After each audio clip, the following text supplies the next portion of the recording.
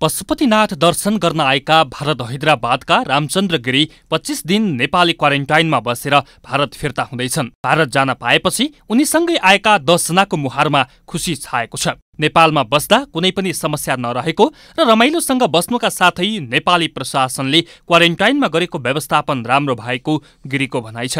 भारतबाट बागेश्वरी मन्दिर दर्शन गर्न आएका भारत तेङ्गुण राज्यका चल्ला अन्जयाले भने आफूहरू करिब पचास दिन नेपालको एक मन्दिरमा बसेको बताए। धार्मिक यात्रामा निस्केका उनी लकडाउनका कारण नेपालमै रोकिएका थिए। नेपाल सरकार र भारत सरकारले सीमामा अलपत्र परेका नागरिकहरूलाई स्वदेश फर्काउने समझदारी भएपछि उनीहरू आफ्नो देश जान पाएका छन्।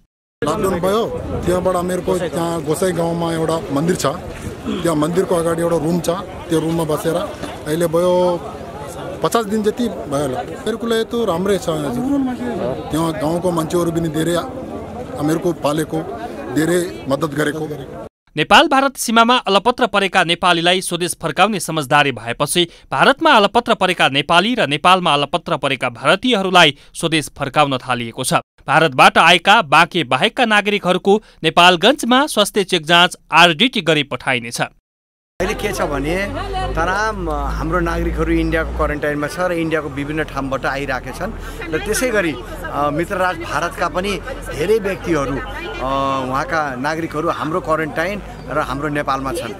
र अहिले देशव्यापी रूपले इन्डियामा फँसेको नेपाली र नेपालमा फँसेका इन्डियनलाई सट्टापट्टा गर्ने प्रक्रिया चलेको छ। आरडिटी टेस्ट गर्दै हामी बसमा हालेर उहाँहरूको सम्बन्धित जिल्ला पठाइदिन्छौँ। बाँकेका विभिन्न क्वारेन्टाइनमा रहेका एक सय सत्तरी र विभिन्न कल कारखाना होटेलका मजदुर र आफन्तको घरमा बसेका गरी करिब एक हजार चार सयको हाराहारीमा भारतीय नागरिकलाई फिर्ता पठाएको हो। बाँकेबाट रविन्द्र सिंह ठकुरीको रिपोर्ट।